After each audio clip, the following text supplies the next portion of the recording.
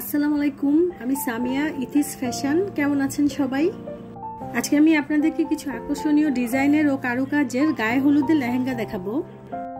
শাড়িতে বউ সাজার প্রচলিত নিয়মটা এখন অনেক পরিবর্তন এসেছে। ফ্যাশন সচেতন তরুণীরা এখন তাদের বিয়ের সাজে নিয়ে এসেছেন লেহেঙ্গা। লেহেঙ্গা খুব গর্জিয়াস একটা লুক দেয় ও দেখতেও সুন্দর লাগে। মূলত কাতান, জর্জেট, বাহারি সিল্কের বিভিন্ন কাপড় ও ব্লাউজ লেহেঙ্গার নিচের অংশ ভারী কাজের। নেটের কাপড়ের মাঝেও পাথর, চুমকি বসানো বিভিন্ন টাইপের ডিজাইন দেখা যায়। লেহেঙ্গার কাজ যদি ভারী হয়, তবে বেছে নিতে পারেন কম গর্জিয়াস গয়না। গায়ে হলুদের লেহেঙ্গায় সাধারণত হলুদ রংটাই বেশি দেখা যায়।